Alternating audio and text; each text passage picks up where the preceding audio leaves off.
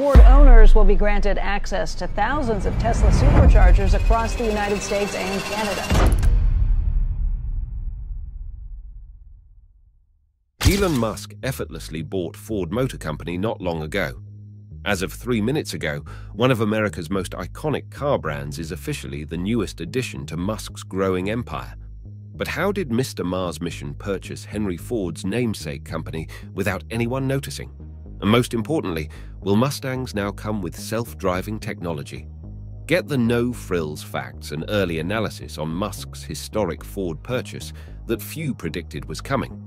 The genius behind electric cars, rockets, and tunnels just couldn't resist adding a dinosaur to his collection. This is crazy because Tesla and Ford have hated each other for years. They've been rivals since Ford started making electric cars to compete with Tesla. It's been a fierce competition to see who could make the best EVs. Remember when Ford unveiled their electric F-150 Lightning truck right after Tesla showed off the crazy angular Cybertruck? But now, Ford's Mustang Mach-E SUV is competing with Tesla's Model Y crossover. The Mach-E costs way more, but people dig its cool style and decked-out interior. The Model Y is pretty basic inside. So Ford's EVs are still stealing some of Tesla's thunder even as they join forces. But now, Elon has somehow gathered enough money to buy Ford outright. It'll be interesting to see if Ford keeps acting like a rival and trying to one-up Tesla's designs after the sale. Or if Elon will stop the in-house competition and combine the companies into one unstoppable electric vehicle powerhouse. Even though Ford had some early wins with their EVs, they've been struggling lately. Their electric car sales have started to reduce. Ford admitted their EV programs are actually losing a ton of money right now operating at a 40% negative profit margin. So maybe Elon buying Ford is actually a smart move to help them turn their EV game around. And some say he could even scoop up General Motors too, because people are comparing Tesla's stock to Bitcoin and dot-com companies before they crashed. Ford is worth about $36 billion right now, and General Motors is worth around $49 billion. If Elon sold all of his companies, he could use that money to buy all of Ford. He might even have enough cash left over to buy a big part of General Motors too. Even though Tesla sells way less cars, its stock price gives it a huge market cap. In 2019, Ford made $37 billion in sales, and General Motors made $35.5 billion. Meanwhile, Tesla only made around $6 billion. Yet Tesla's value is gigantic while it's still ramping up. Investors hope its future growth will be huge as electric cars take over, but not everyone agrees Tesla deserves its monster value. In fact, Tesla is the most shorted stock on the market, and short selling is when investors bet a stock will drop. With Tesla shorting so much in sales, many feel its valuation doesn't make sense. Investors are really optimistic about the company's tech potential, while others think it's being talked up too much. Auto technical analyst Carter Worth warned that Tesla is acting like Bitcoin and dot-com stocks right before huge crashes. Most Wall Street experts actually recommend holding or selling Tesla shares. On average, they think the stock is worth about $500, way under its current crazy price. But Tesla megafans like Ron Baron still hype its potential for massive growth ahead. Baron believes revenues could grow exponentially in the coming decade. Other auto CEOs like Jim Farley seem to buy into Tesla's hype too, and praised Elon Musk as a genius recently. There's an ongoing argument about how much Tesla's shares are really worth. Is it a bubble about to burst or a rocket ship to the moon? The risks are undoubtedly high at these prices. But believers like Baron say doubters will miss out as Tesla will grab Ford soon. As Ford CEO Jim Farley publicly praised Elon Musk and Tesla in a big way, he announced that starting in 2024, Ford drivers can use Tesla's supercharger stations to recharge their electric cars. Drivers just need a $100 Tesla adapter to hook Ford vehicles up to Tesla's 12,000 plus quick charging locations. This is huge, since most non-Tesla EVs take way longer to charge. It's a big vote of confidence in Tesla's charging network from a major competitor. Ford drivers will be able to pay and activate Tesla charging through their Ford Pass or Ford Pro apps once everything's set up. Tesla station charging can range from 90 to 250 kilowatts, while Ford's Mustang Mach-E Maxes at 150 kilowatts. So Mach-E owners are kinda lucky. Tesla plugs have got them covered. When CEOs Elon Musk and Jim Farley announced the deal, Musk was at Tesla's design studios finishing the upgraded iteration of the Roadster model. He thanked folks waiting impatiently for the improved edition of Roadster, saying these things take time. Between Ford teaming up on chargers and finalizing the new Roadster, Tesla has much to offer. Even with Tesla and Ford battling for EV sales, their CEOs seem friendly. Farley is looking past the rivalry to cooperate where it benefits electric vehicle owners. It's pretty cool to see big automakers team up at times. Ford's deal to use Tesla chargers is a crafty move to boost Ford's Mach-E and Lightning sales. But Farley's over-the-top praise of Musk during a half-hour announcement raised eyebrows. His non-stop flattering seemed less about courtesy and more about trying to gain favor from the Tesla titan. Let's look at Elon's moment of awkwardness as Farley showered him with praise. It was more like when one poor company got support from a wealthy tycoon and started cheering, hoping they wouldn't leave them in the middle of the way. He kept repeating what a really big deal the partnership was. He thanked Musk excitedly many times for the agreement to share Tesla's charging stations with Ford drivers. He talked about how much he loves the locations Tesla chose, the reliability of the chargers, the easy-to-use connectors, and the software that guides users to the chargers. He even shared a family story about how his kids kept pointing out Tesla chargers when they were on a road trip last year. Farley doesn't have nearly as many electric car customers as Musk, but wants Ford owners to be able to use Tesla's chargers starting early next year. Musk seemed embarrassed by the non-stop compliments. He had to interrupt and suggest they start taking questions from the media but Farley made sure everyone knew how excited he was to work with Tesla. Tesla's stock has shot up so high, and it gave Elon Musk a ton more money to play with. It's over $260 billion now. This much cash means Elon can easily afford to buy the Ford Motor Company, worth around $50 billion. Ford better watch out. Getting bought by Elon could really shake things up.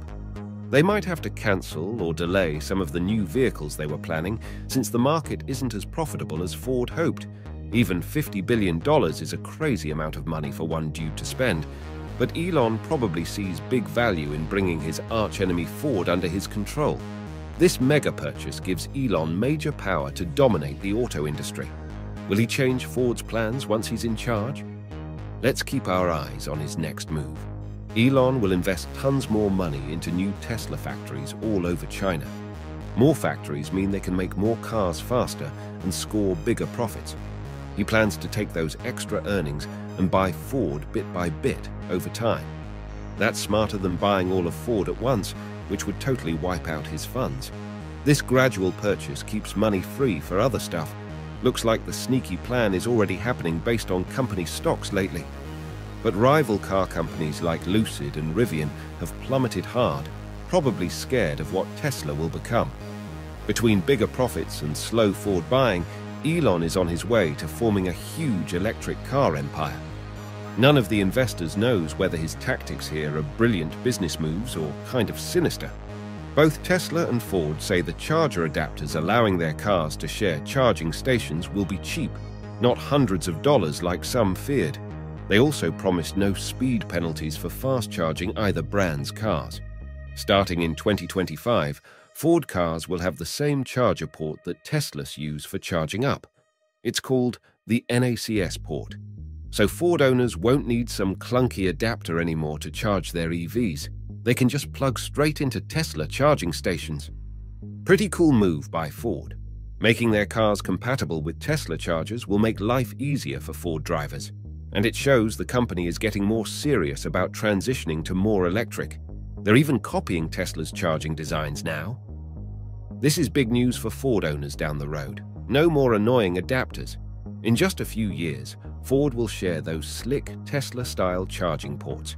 The EV future is coming fast, and Ford is kicking things into high gear. Elon is smart to team up with Ford's abundant factories to build more Teslas, way cheaper than making brand new ones. Teaming up with suppliers instead of using totally different ones like now will also cut costs big time. Centralizing manufacturing and suppliers gives Tesla an edge. At the same time, Ford's factories make more cars faster, and suppliers reduce costs when working together. Pretty clever way for Elon to grow his EV empire on Ford's dime. Would it be wrong for Ford to help their new owner? Buying Ford gives Tesla some neat perks too. Since Ford already manufactures cars in China, the partnership gives Tesla its first foot in the door to make and sell vehicles there. Huge new market potential. When Ford was struggling with sales, Elon encouraged them that they bounce back since their marketing is top-notch, like the insanely popular F-150 Lightning. This mutual respect could lead to an even deeper partnership between the auto giants, kind of like what Fiat and Peugeot did, joining forces in one company called Stellantis. Working together as a single company might be more effective than Elon completely purchasing Ford. China is way ahead of the US when it comes to manufacturing electric cars. Their EV market is huge. So, if Tesla and Ford teamed up, it could be awesome for bringing more affordable EVs to America. Tesla makes the coolest, most advanced EVs, and Ford has the manufacturing muscle to produce them at scale. It's like the perfect combo. Ford could learn a ton from Tesla's tech genius, and Tesla could use Ford's factories to pump out way more cars. Together, these American EV bosses could take all of China's EV success and bring it back home more people could finally afford cool electric cars. This would be a big win for American drivers, but there's a lot more left to uncover. If Ford gets bought out, they basically surrender to Elon. Then Tesla would have to invest a ton of cash making Ford profitable again, which could even hurt Tesla's popularity. As equals, though, Ford and Tesla could thrive together on shared resources. This auto drama is fascinating though may be best for Elon and Tesla to avoid controlling too much of the market, but monopolies can be risky. Tesla's planning their own $20,000 electric car. With Ford's help behind the scenes, Tesla could build their budget model faster. Tesla's $20,000 ride could be huge in developing countries.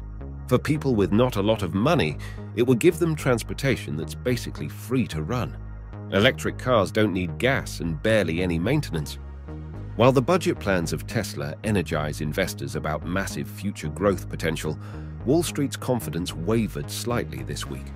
Lately, buzz about Elon Musk's big plans has blasted Tesla's stock up 35%. Investors hope he'll change cars and energy forever, but the hype cooled off a bit. Tesla shares dropped 3.8%, closing at 296 on the Nasdaq.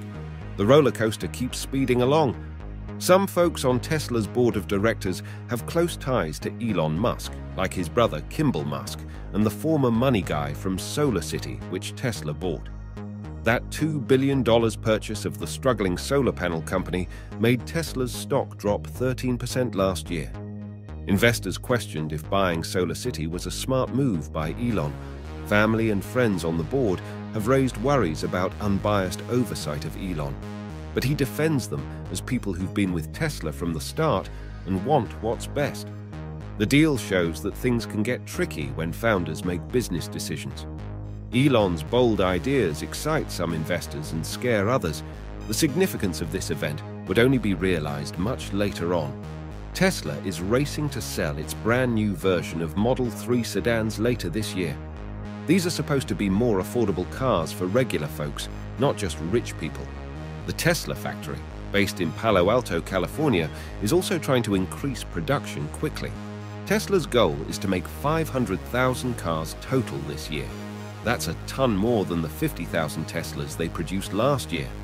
So the pressure is on to get this new version of Model 3 launched right and grow their manufacturing fast. Just to give you an idea of scale, last year Tesla sold around 76,000 cars total. That's a tiny amount compared to their big rivals. General Motors sold 10 million vehicles, and Ford sold 6.7 million vehicles. Those companies are gigantic compared to Tesla.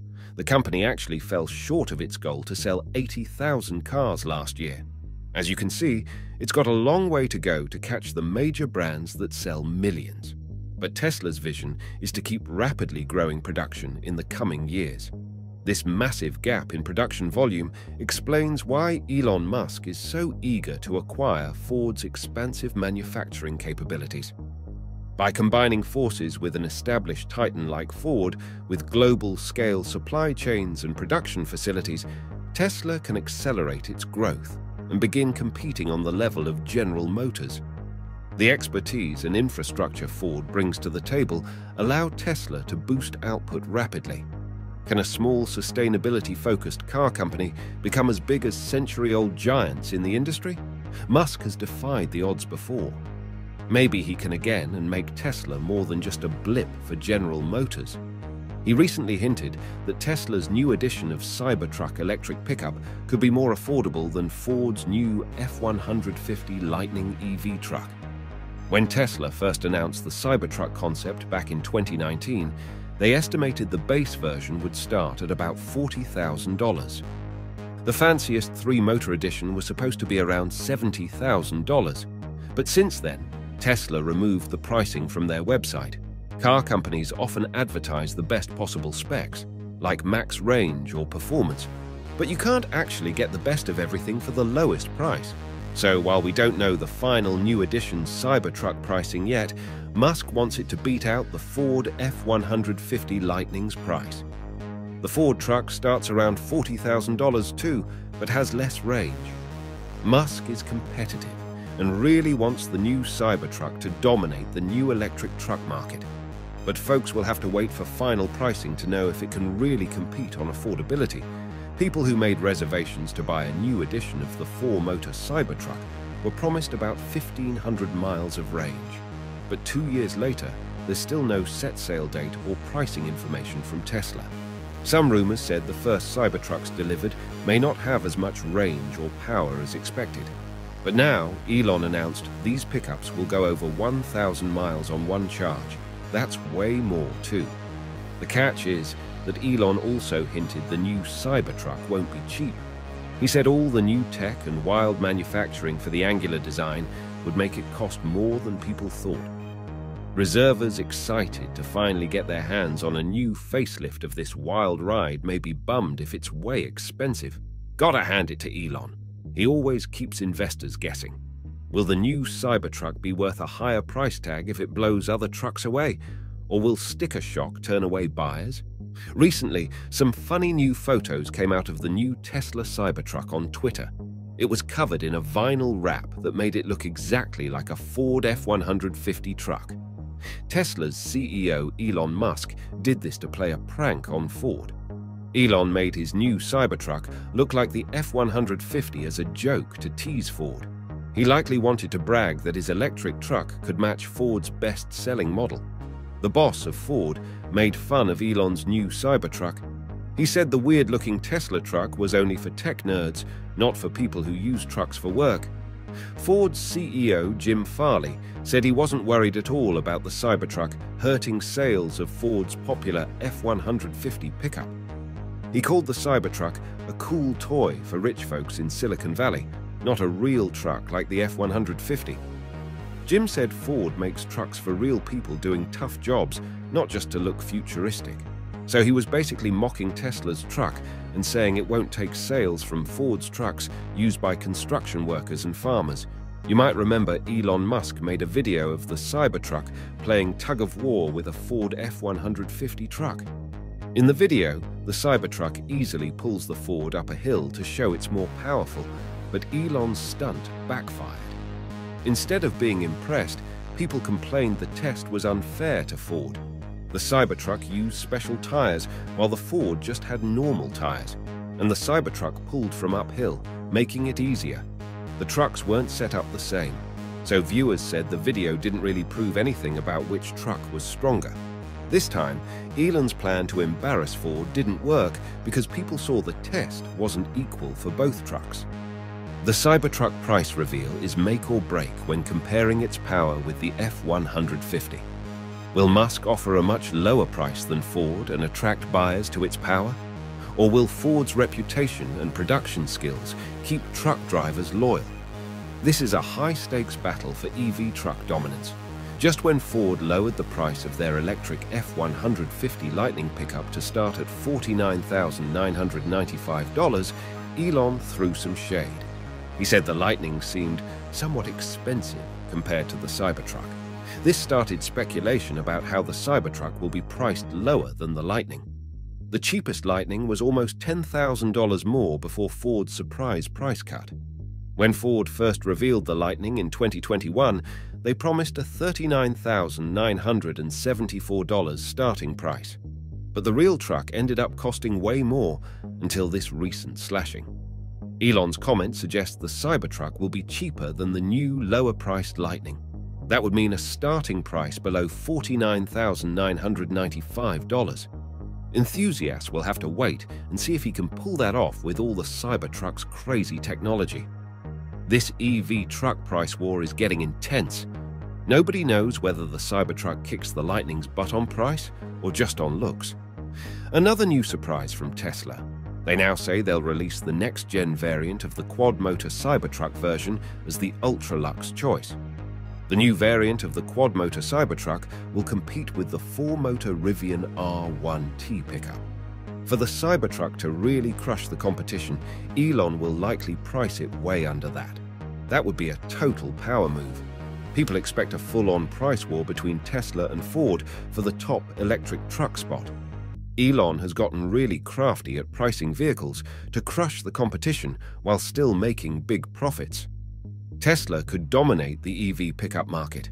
A new variant of quad-motor Cybertruck will blow Ford and Rivian's trucks away? This beast keeps getting more extreme. The purchase of Ford was a game changer, a move that defied logic. It was like watching a chess match where the most unexpected piece had just been moved. Donald Trump goes to jail, and that could happen too, to be honest. Life is much more complex than, than left or right. It's a military operation. I mean, we have a military, this is like a war. And they can defend themselves. And Putin, you know, has so little respect for Obama that he's starting to throw around the nuclear word. To you heard that, nuclear. We have a fool, a fool as a president. He said, We will never leave until there is complete and total victory. we might be there for a long time. Some people say Biden's going to make it. Does anybody think he's going to make it to the starting gate? I think it will go a long way toward bringing our country together. Trump persistently escalates his criticism of Biden's open border policy, alleging that it not only compromises national security, but also strains the country's resources. With reports of a significant surge in illegal border crossings, Trump accuses the Biden administration of failing to effectively address the crisis. Meanwhile, the White House defends its policies as humanitarian and necessary to tackle the humanitarian crisis at the borders. Nevertheless, Trump and his supporters continue to advocate for a stricter approach, arguing that border security and integrity should be paramount. As the dispute between Trump and Biden over the United States borders continues to heat up, the fate of the country's immigration policy remains uncertain. Allowing thousands and thousands of people to come in from China, Iran, Yemen, the Congo, Syria, and a lot of other nations, many nations are not very friendly to us. He's transported. But at this point, it's the only plan. It's all that Democrats have. As the borders of the United States become epicenters of political controversy, the voice of former President Donald Trump emerges, vehemently criticizing the open door policy adopted by the current leader of the nation, Joe Biden. We delve into Trump's heated arguments, decrying the purported lack of control and security while Biden advocates for a more welcoming approach to immigration. Get ready for an intense debate on the future of American immigration policy. Joe Biden is going to have a very hard time getting reelected, much less serving another term. It's impossible to imagine that. Yet the party cannot replace him because that would leave Kamala Harris, who is even more unpopular than he is. Then, uh, in order for a community note to actually be shown, um, people who historically have disagreed on a subject must agree in order for a note to be shown. Trump's discontent with Biden's presidency persists, particularly regarding immigration policies and border security. His vocal criticism underscores deep ideological differences between the two leaders and their respective approaches to governance. As Biden's administration grapples with complex challenges, including immigration reform, Trump's opposition remains a significant force shaping political discourse in the United States. The ongoing tension between these two political figures reflects broader divisions within the country and underscores the enduring impact of Trump's presidency on American politics. The entire columns of uh, fighting-aged men, and they're all at a certain age, and you look at them and say, they they look like warriors to me. Something's going on that's bad. Now the United States is being overrun by the Biden migrant crime. It's a new form of uh, vicious violation to our country. It's migrant crime. We call it Biden migrant crime, but that's a little bit long. So we'll just leave it. But every time you hear the term migrant crime, you know where that comes from. Allowing thousands and thousands and actually millions and millions of people to come. Could be 15 million, could be 18 million. In the United States, the debate over implementing a system of paper ballots in elections has become a focal point, with prominent figures such as Tucker Carlson emerging as staunch advocates. Carlson, a prominent conservative commentator, has fervently argued that adopting a paper ballot system would bolster election integrity and restore trust in the democratic process. He contends that electronic voting machines are susceptible to manipulation and hacking, making them inherently unreliable. However, critics caution that switching to a paper-based voting system could present logistical challenges and disenfranchise certain voter demographics. Despite these concerns, Carlson and other proponents continue to champion the cause, framing it as a critical step towards safeguarding the integrity of American elections. As the debate unfolds, the influence of figures like Carlson underscores the divisive nature of this issue and its significance in shaping the future of democracy in the United States. What would happen if we held an election the way that Americans used to do it just a few years ago? We should try that sometime. Here's how it would work. Everyone would vote on the same day in person. You would show up and present an ID, just like you do at the airport or the liquor store. Then you'd mark your preferences on a piece of paper. You do it manually. There would be no electronic voting machines. There would be no drop boxes or absentee ballots. The poll workers would probably be people that you recognize from your own zip code. They'd be your neighbors. They would not be employees of Mark Zuckerberg from California. As for the names on the ballot, you would get to choose those yourself, as citizens do in a democracy. Judges wouldn't be allowed to tell you who you can vote for and who you can't vote for. You'd get to decide. And then once you voted, nobody could order a stop to the vote counting. That would be illegal. Essentially, you cannot take somebody out of a race because an opponent would like to have it that way. And it has nothing to do with the fact that it's the leading candidate, whether it was the leading candidate or a candidate that was well down on the totem pole. You cannot take somebody out of a race. The voters can take the person out of the race very quickly, but a court shouldn't be doing that, and the Supreme Court saw that very well. And I really do believe that will be a unifying factor because while most uh, states were thrilled to have me, there were some that didn't, and they didn't want that for political reasons. They didn't want that because of poll numbers. Then, uh, in order for a community note to actually be shown, um, people who historically have disagreed on a subject must agree in order for a note to be shown because Harris is a member of the new master race, she cannot be booted off a presidential ticket. She must be shown maximum respect at all times, no matter what she says or does. And so that means the Democratic Party is stuck with two fatally unpopular candidates. It's their doing.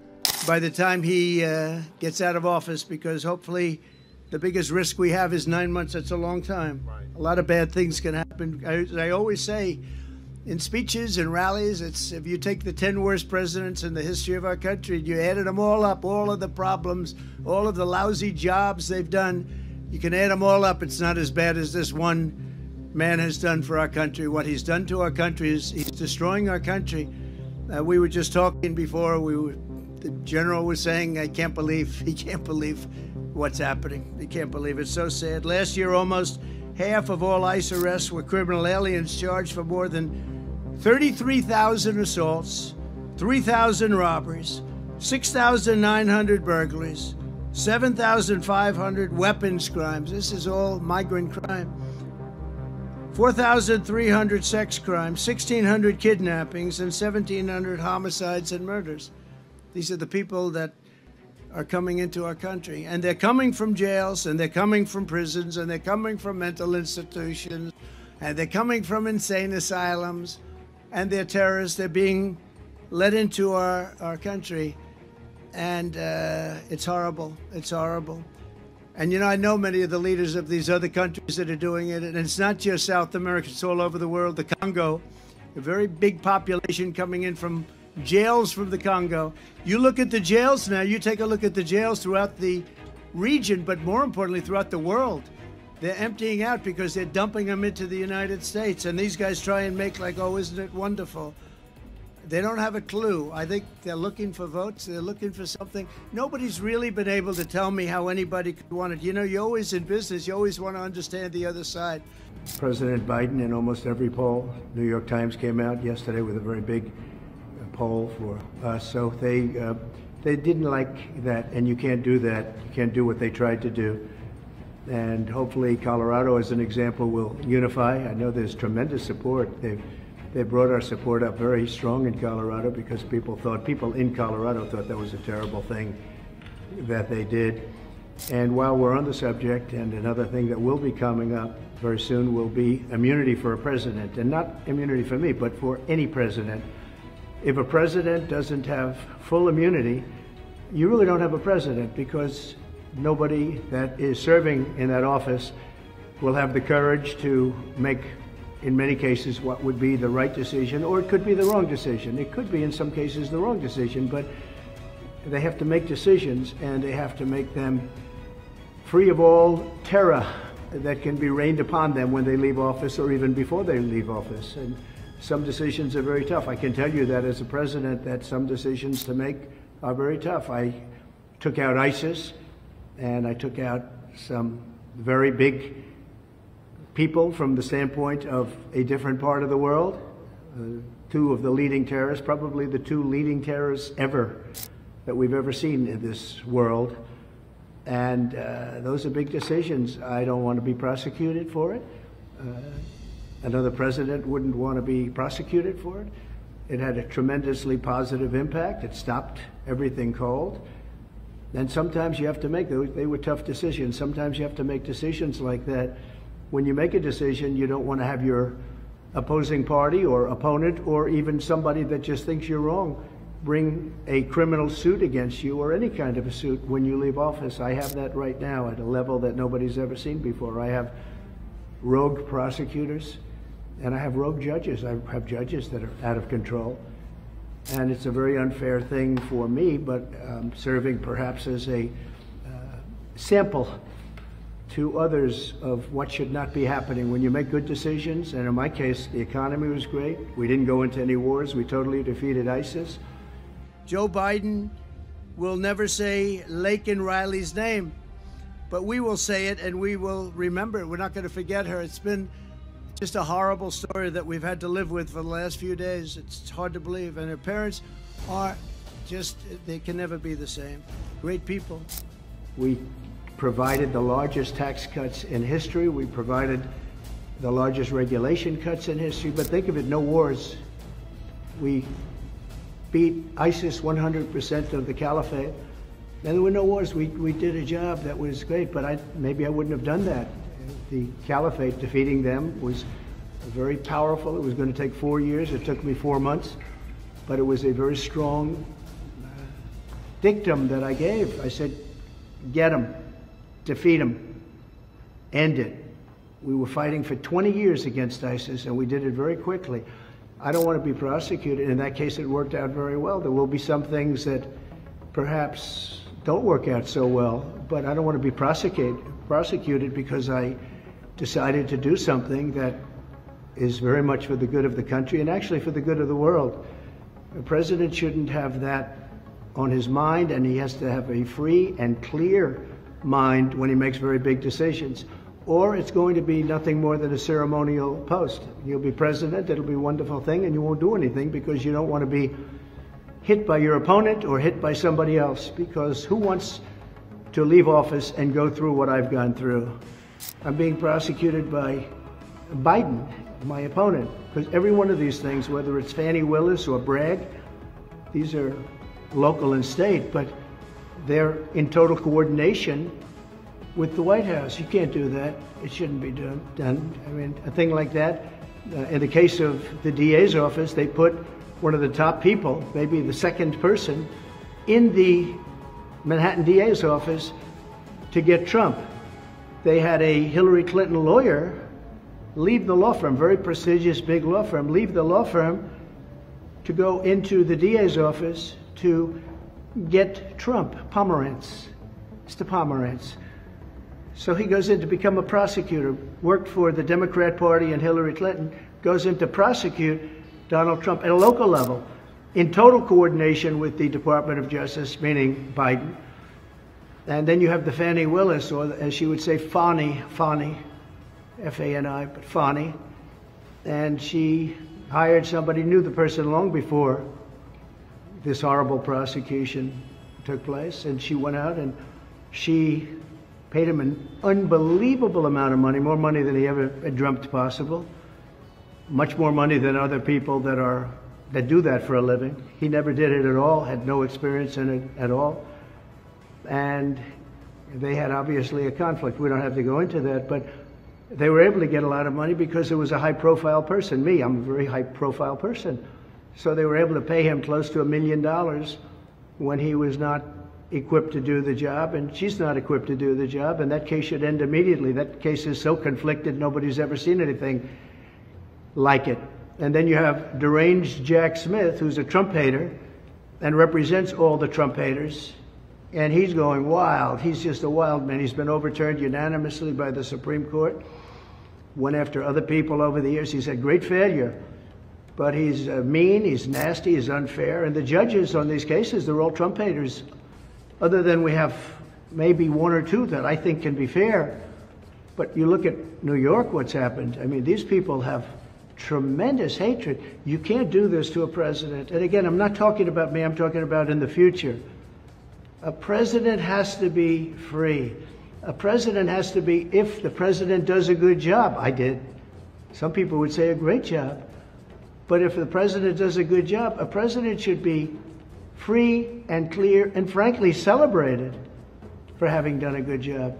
Not indicted four times and not gone after on a civil basis and not uh, demanded to be to pay hundreds of millions of dollars in fines on something that was absolutely perfect where there were no victims where the financial statements were absolutely flawless where you have disclaimer clauses I mean, nobody's ever had a thing like this. I wasn't given a jury, and I had a clubhouse judge just come up with this number on a perfect loan and very conservative financial statements. But even at that, if you look, the disclaimer says don't rely on the financial statements in any way, shape, or form. Go out and do your own work.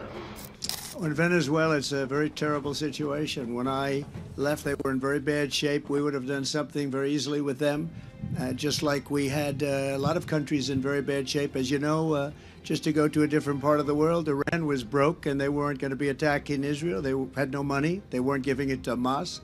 They weren't giving it to Hezbollah. They weren't giving it to anybody. They didn't have it. Now they're a rich country again. They have $250 billion and rich as you can be, and they're handing the money out all over the place. So, you know, a lot of things changed. Venezuela was in bad shape. Now they're in good shape. We actually buy their oil, if you can believe it, and we refine it in Houston. It's the only place where you can refine it because it's really tar, much more so than oil. But uh, we would not be playing games with Venezuela. They would not be doing what they're doing. Now they're sending people, and they just put out a statement last week. We're not taking them back. They're sending their people from jails and prisons and mental institutions, and they say we're not taking them back. President Biden, number one, stop weaponization. Fight your fight yourself. Don't use prosecutors and judges to go after your opponent, to try and damage your opponent so you can win an election. Our country is much bigger than that. The other thing I say to President Biden close the borders now. This is not sustainable for our country. It's not sustainable for our cities. Our country is under siege. This is a violent thing that you've done. And many people are dying. Many, many people are dying. They die on the trip up, they die going through the border, and they die in our country. But many of the people coming up are from prisons and jails, from mental institutions and insane asylums. Many are terrorists. You see it. Many, many are terrorists. And I believe the real number that we have right now is probably closer to 15 million people. And by the time the term ends, I believe the president's term ends, I believe you'll be at close to 20 million people. That's almost larger than any state in the Union. Our country, it is not sustainable. Many of these people are tough. Many of these people are bad. They come from some of the roughest countries in the world and some of the roughest prisons. We have prisons in the Congo, in Africa, coming. We have people coming from all parts of the Middle East. They're coming from Yemen, and yet you are bombing Yemen. You have to stop. You have to close the border. You have absolute authorization. You don't need Congress. I had the safest border in the history of our country, and I didn't use Congress for it. And then I built hundreds of miles of wall. And the reason I built it and how I built it was I considered it an invasion of our country. And I took the money from the military. And the Army Corps of Engineers did it with me, and we did a great job. And we had the safest border we've ever had, and now we have the most unsafe border anywhere in the world at any time. There's never been a border like this at any country, anywhere in the world. They would have fought with sticks and stones to stop the horrible situation that's occurring. Our people can't stand it, and the people coming in really can't stand it because they're dying. Many are dying on the trip up, and they're dying in the country. And also, many of the people are criminals, and they're doing tremendous harm. I call it migrant crime. It's migrant crime, it's a new category of crime. They're hurting our country horribly. And we've become a laughing stock all over the world. So I say respectfully to President Biden, you have the authorization right now. I did it. I didn't go to Congress and say, Do I have the right to close? I fought Congress on it. Close the borders. You can do it right now. You have everything. Use my policies. My policies were great. Everybody said it. Use my policies. So, just to finish, I have great respect for the Supreme Court, and I want to just thank them for working so quickly and uh, so diligently and so brilliantly. And again, this is a unifying factor. In this case, I mean, the polls show that uh, I'm much more popular than I was before weaponization. It's been weaponized like it's never been. This is for third world countries. This isn't for us. Biden ought to drop all of these things. And frankly, he may do better if he does because people would say, wow, that was very reasonable. Look, they're all the state, the city, and the federal. They're all coordinated. Fani Willis's lover spent hours and hours at the White House, I guess with White House counsel and with DOJ, plotting out this plan. Nobody talks about that. They're all uh, they're all coordinated with the White House. It's weaponization. Never been done in this country. It's been done in third world countries, banana republics, never in this country. I really believe what they should do is really go all the way, go out and stop all of this nonsense. They're nonsense cases, and everybody sees it. You just look at Atlanta. It's such an embarrassment to Georgia what's happening there. But uh, Jack Smith, I don't think is any better. Letitia James is terrible. She campaigned on I will get Trump, I will get Trump, and then it goes before a Trump hating judge. I mean, the whole thing is a rigged deal, and the public understands it. I'm lucky that I'm able to explain it to the public because if you weren't able to explain it, the public wouldn't know. They'd believe what they see. So I don't want to win this way. Look, I want to win based on my policies are better. We're going to cut taxes. We're going to get interest rates down. You're going to be able to buy homes again. I mean, you can't buy a home today. The interest rates are so high. I want to win on safe borders. I want to stop wars. I want to stop the war in Ukraine with Russia. I want to stop what's happening in Israel. Israel would have never been attacked if I were president. Ukraine would have never, ever been attacked if I was president. Um, you wouldn't have had inflation. Inflation was caused by high energy prices. I had low energy prices. I would have kept them there very easily. And it probably maybe caused the war with Ukraine because Putin became rich all of a sudden. It went up so much, and I, I watched President Biden talking about Putin. Putin became very rich because at $100 a barrel, he's got so much money to fight a war. At $40 a barrel, he doesn't have the money to fight a war. But he wouldn't have done it anyway because I told him not